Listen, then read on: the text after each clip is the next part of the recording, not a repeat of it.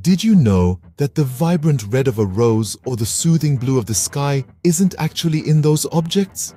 Yes, you heard it right.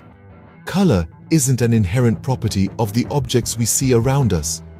Instead, it's all about light, wavelengths, and our own perception. When light bounces off an object and hits our eyes, we interpret different wavelengths as different colors. So, essentially, colors are the way our eyes interpret the dance of light. So, when we talk about colors, we are actually talking about our own perception of light.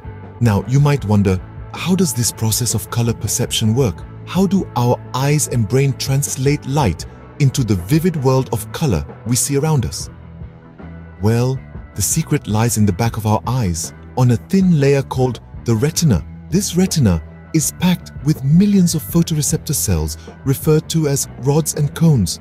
While rods help us see in dim light, cones are the true artists of our vision, responsible for our perception of color. There are three types of cones, each sensitive to different wavelengths of light. Some cones get excited by short wavelengths, resulting in our perception of blue. Others respond to medium wavelengths, giving us green, and the rest are stirred by long wavelengths, creating the sensation of red. The magic happens when these cones work together. By responding to different wavelengths in varying degrees, they blend the primary colors to create the full spectrum we see. It's a fascinating system, isn't it?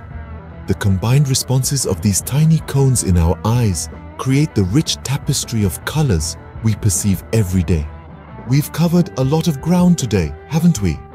We've learned that color isn't inherent to objects, but rather a perception crafted by our eyes and brain interpreting diverse light wavelengths. Our retina's photoreceptor cells, the rods and cones, are significant players in this intricate process.